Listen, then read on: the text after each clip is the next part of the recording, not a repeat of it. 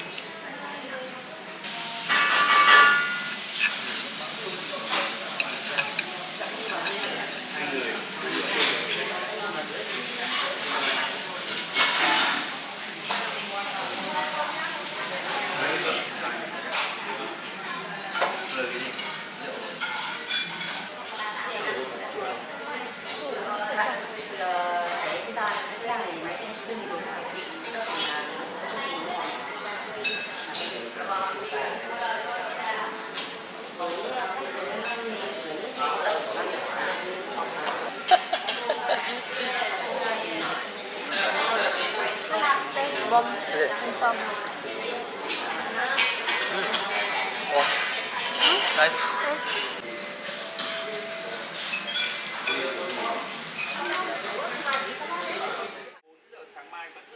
cấp 8, sau đó đến chiều mai mới suy yếu thành một vùng áp thấp. Trong đêm nay và sáng mai thì nhiều tỉnh thành vẫn sẽ có gió mạnh mưa lớn. Cụ thể là ở Quảng Ninh đến Hải Phòng, gió mạnh cấp 10,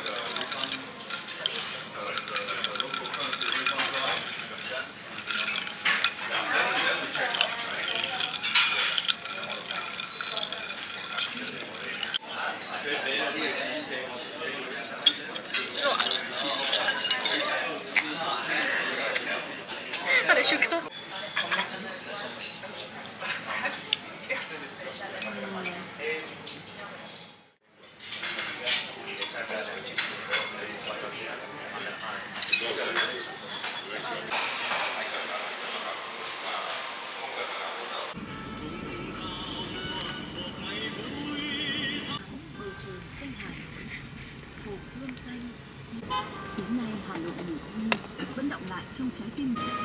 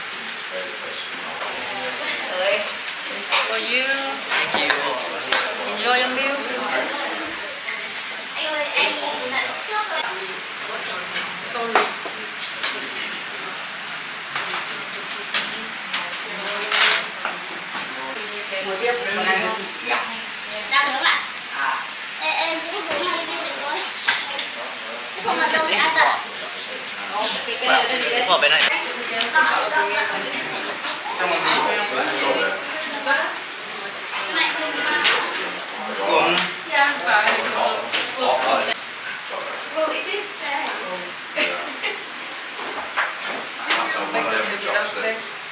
Không lên dọn tầng 2 luôn chứ. I helped you up the in the room or outside around I of each